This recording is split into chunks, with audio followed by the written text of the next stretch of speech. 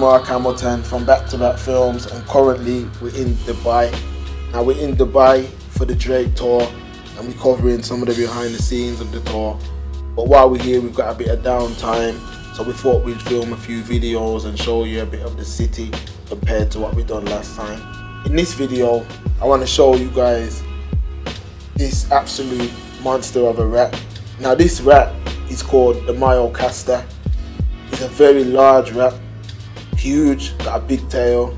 Um, he eats 25% of his weight daily. He uh, lives by water. Um, he, he likes his favorite food is plants that comes from the water. And this rat is just something that you wouldn't want to bump into on a dark night.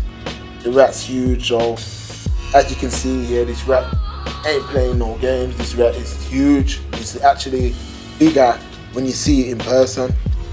Probably about as big as a cat. Probably double the size of a cat, sorry. So please stay tuned and subscribe. We're going to be bringing to you more videos of our time here.